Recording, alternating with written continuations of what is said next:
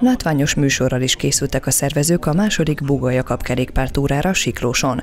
A vár előtt gyülekeztek a résztvevők, itt készíthették fel magukat és bringájukat is az útra. Alapvetően a, a cél az az volt, amikor a gondolat megszületett bennünk, hogy elindítunk egy olyan aktív mozgásra, sportra hajazó rendezvénysorozatot, ami jól szervezett, ami nem egy verseny, ami eh, programot adhat azoknak a siklósiaknak, a környékbelieknek is, akik nem minden nap kerékpároznak, nem nagy távokat kerékpároznak, és nem a teljesítőképességük határait feszegetik. Alapvetően egy közösségépítő, közösségszervező túráról beszélünk, természetesen a várból indulva, a várba érkezve, illetve azokon a turisztikai útvonalakon, amelyek számunkra nagyon fontosak, hogy a térségnek az értékeit be tudjuk mutatni, egybekötve egy kis mozgással. Ez volt az alapvető gondolatunk, amikor elindítottuk az első Bugajakap túrát, és segítségül hívtunk egy olyan szervező csapatot, akik több mint két évtizedes múltra tekintenek már vissza a kerékpáros rendezvények szervezésében. Ők a Balatonkör Sport Egyesület, akik a Balaton körül már nagyon régóta szerveznek ilyen és ehhez hasonló eseményeket.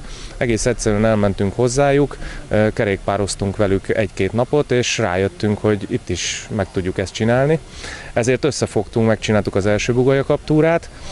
Sajnos ez egy évet csúszott a Covid miatt, de hála Istennek nem maradt el, nem maradt abba, így 21 után most 22-ben is meg tudjuk tartani a Bugajakap túrát. Természetesen tanultunk és okultunk az első rendezvénynek a problémáiból, fennakadásaiból. Így például a második alkalommal megrendezett kerékpártúrán több távot is teljesíthettek a résztvevők.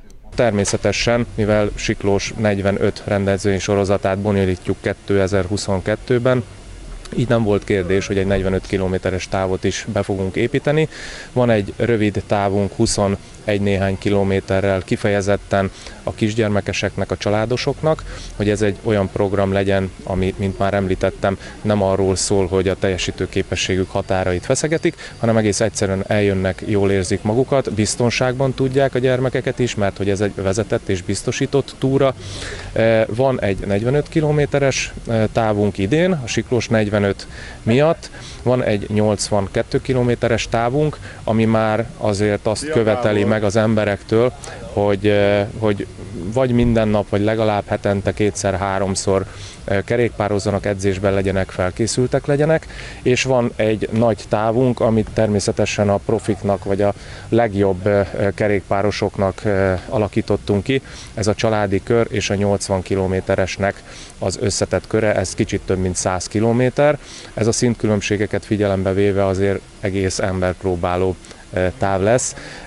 A tavalyi évhez viszonyítva, ha már arról beszéltem, hogy tanultunk egy picit az első évnek a szervezési dolgaiból, azt látjuk, tavaly 130 környékén volt a jelentkező, illetve aki itt volt velünk ezen a rendezvényen. Idén körülbelül megduplázódik a létszám. Az előregisztrációknál egy kicsit 200-as létszám alatt voltunk, arra számítunk, hogy 230-250 kerékpáros fog ma itt Siklós és környékén bringázni velünk, és reméljük, hogy a következő években természetesen ez a létszám majd gyarapodni fog. A sporteseményen a térség országgyűlési képviselője is indult. Nagy Csaba stábunknak elmondta, hogy fontos célt szolgál egy ilyen esemény. A mai napnak szerintem több célja van, és több olyan dologról érdemes beszélni, ami talán aktualitást ad a mai túránknak. Ugye 45 kilométert fogunk kerekezni, 45 éve kapta meg Siklós település a városi rangot. Ez egy elképes történet, de azt gondolom, hogy az idei évi kulturális programok azok kitettek magukért, és ez a túra is. A második része pedig talán az, hogy ne csak itt Siklóson, ne csak a környéken, hanem az országban is jobban megismerjék azt a kulturális örökséget, amivel Siklós és a környezete rendelkezik, és talán ahhoz is hozzásegíthet, hogy a turisztika egy picit fellendül, legalábbis arra számítunk, hiszen a nevezők száma az nőtt, és egyre népszerűbbek úgy tűnik, hogy Magyarországon is az ilyen és ehhez hasonló kerékpáros programok.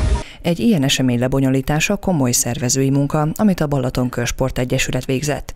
A program elejétől a végéig minden apró részletre figyelni kell, mondja Kóz Zoltán elnök. Egyrészt olyan törvény előírások vannak, amit be kell tartani, kötelező, például mentőt kell biztosítani, rendőri segítséget kell igénybe venni, útvonalengedélyeket kell kérni, az önkormányzatoktól áthaladunk, a Magyar Közútnak által kezelésében levő utaknál is engedélyt kell kérni, és ezek még csak az engedélykérések. Utána jön a következő, hogy sok biciklist el kell látni, és akkor ezután jön még csak az, hogy jön a biciklizés, ahhoz fel kell vonulni, el kell hozni, be kell szerezni a, a pólókat, aztán kellenek olyanok, hogy biciklit, amikor jönnek, akkor átvizsgáljuk, van egy szervizautónk, aki többek között a mezőnyt is folyamatosan kíséri, és az útközben levő problémákat elhárítja, hanem olyan van például eltörött a váz, ilyen is volt már, az nem javítható, akkor beültetjük a záróautóba, és akkor végig tud jönni velünk, senkit nem hagyunk az út szélén. Mi már 23 éve szervezzük a túrát, tehát most már nálunk teljesen kiforrott ennek a